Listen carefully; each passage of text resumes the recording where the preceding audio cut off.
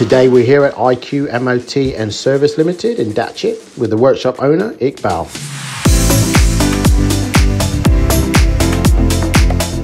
Iqbal is over the moon at this new MOT testing station that has just been approved by the DVSA with flying colours, with the help from the V-Tech project management team.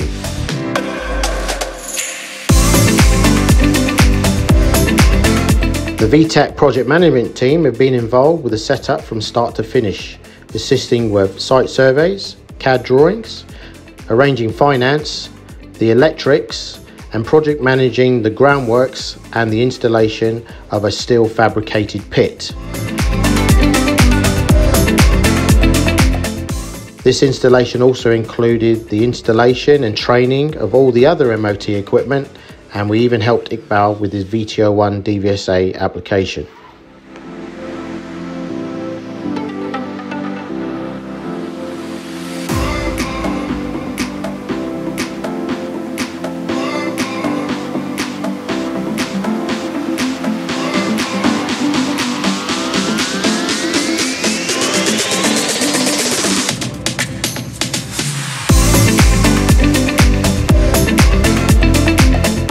We asked Iqbal for him to describe in his own words his experience with V-Tech and he simply said, Five star.